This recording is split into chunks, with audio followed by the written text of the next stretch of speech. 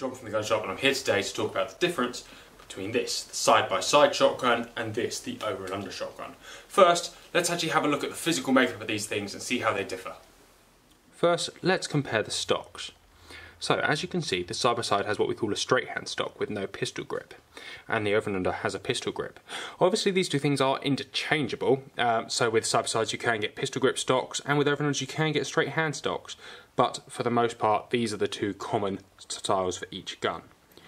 If we have a look on the back, you'll notice that the over and under has a butt plate, and the side-by-side -side has a wooden checkered butt. Uh, this is because the over and under is held on with a stock bolt that comes all the way from the back to about here, where it is bolted on.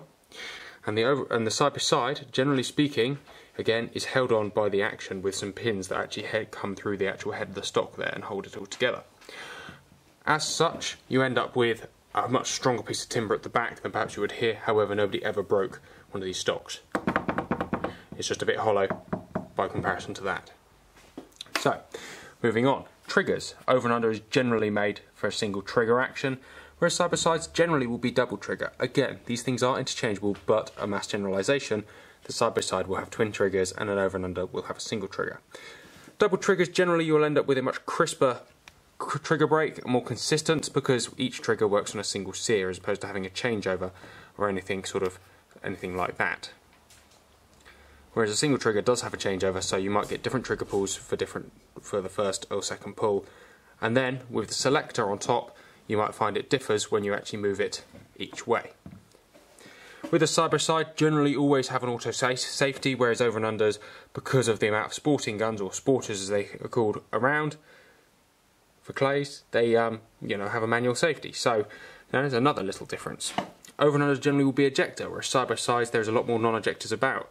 This is firstly because, you know, side by sides have been around since ejectors didn't exist, and also there was a lot of budget side by sides around at the time that didn't need ejectors, whereas over and unders it's an ejector as standard, however more modern ones do have the option to turn ejectors off for competition use. Size. This action is a lot deeper than this. Obviously the barrels like this need less to actually fit into the action, there's a little lump on the bottom that fits in and the over and under has the full barrel setup falling into the action here. This makes the whole thing a lot deeper. This also though allows it to have this big deep forend as opposed to this splinter style forend. You can get beaver tail forends on side by sides but they are a little bit more uncommon. This over and under has a Schnabel forend, but whichever the front or design you get some big beaver tail fat ones, but this is a fairly common Schnabel forend. Nice, deep, really easy to hold. As you can see, this has a big flat rib running along the top, which is actually fairly uncommon in a side-by-side, -side, whereas uh, over the side-by-side -side has more of an actual rib that it just lays the barrels together, so it allows for a more natural sight plane as opposed to the over and under which allows for more of an aimed sight plane.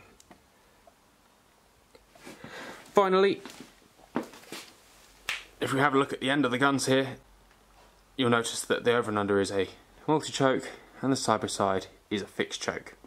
Uh, not many side-by-sides have multi-choke, but this is because back then all the barrels were sort of handmade. They didn't have the option for multi-chokes and they weren't a necessity.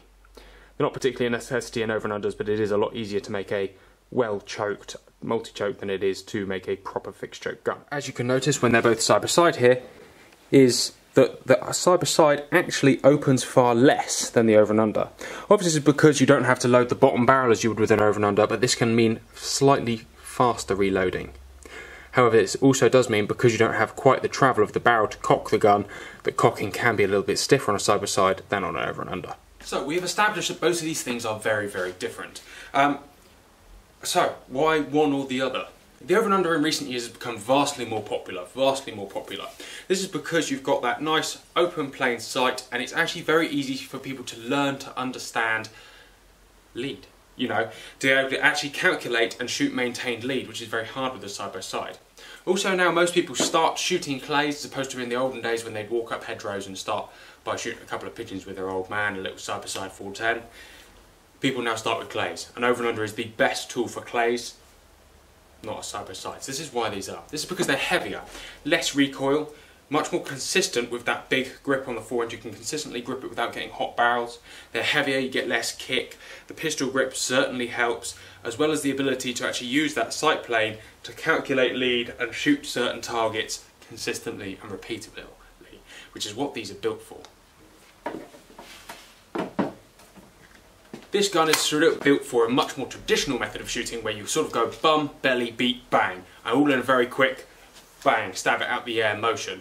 Much faster, much more agile, and for something like walked up game, you've got to take one of these. They're so much faster to be able to just get on and shoot.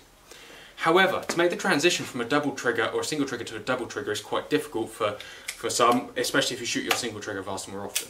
Personally, I think it's vastly faster because you get to go click click, or you can go click click and you get the barrel selector much quicker. Plus, if you get a misfire, you just drop your finger back and you got the bang. There's no awkward having to click click to sort of change your, your barrel over, you just go bang bang and move your finger between the barrels very easily. We like that. Unfortunately, they are harder to shoot. Where they have this unnatural sight plane, they do rely a lot more on gun fits, which people don't put so much faith in nowadays. They buy a gun and it's there, they just go and use it. I understand that if both guns fit, they should be able to shoot equally as well. However, one of these where you don't have the ability to use that bead as a point of reference particularly is harder. You have to rely on gun fit and rely on your natural instinct to push through and pull the trigger and no lead as opposed to be able to calculate it in your head. This is hard for some people, um, including myself. I shoot maintained lead, but then I pick up a side by side and I shoot it completely different. Completely different. They're so different in, in the way they shoot and the way they handle and the way they fit. They're not worth comparing. However, if you're buying your first gun, unless you're doing a lot of game shooting, I've got to say buy an over and under. You can use it for absolutely everything you can learn a lot easier with it. You know, when someone says give it five foot of lead, you can see five foot of lead because you've got that parallel rib. Whereas one of these, seeing five foot of lead consistently is a lot harder. A lot harder, although possible. Uh, what I will say for side-by-sides is they are the most stylish guns on the market. If you're after a shotgun to look stylish with, especially for driven game shooting, doesn't matter what you shoot and what you hit with one of these because you just look absolutely perfect. The true line pulling up and through a gun or pulling up and through a bird is one of those beautiful things going with one of these. Whereas and under is a little bit more clunky, certainly looking. It's a little bit more disorganised, whereas one of these looks absolutely stunning. Obviously they kick more, they're harder to shoot, but it's a bit like owning an Italian car. You know it's not the best thing to do the job that it's for, but you just can't help but love it. Last but not least, from a financial perspective, side-by-sides, because of their lack of popularity, are very, very reasonably priced. You can get a hand-built gun that's 100 years old for less than a thousand pounds that is absolutely lovely and will shoot fantastically. Whereas, you know, in the over and under market, because of their popularity, they hold such great value. Certainly worth considering when you're looking at buying guns. However, if you're going to be shooting the majority clays, unless you don't care about your scores and you're just there for enjoyment, it's got to be the over and under. That said, you can't live without one of these in your cabinet. They're so beautiful and they're just so elegant in everything they do. Go and shoot one if you don't believe me and see how you get on.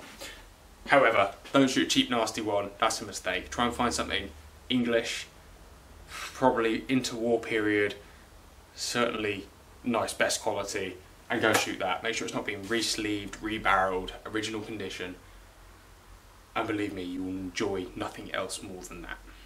I remember an old friend of mine telling me that if we were supposed to shoot over and unders, God would have put our eyes like this. Take that as you will.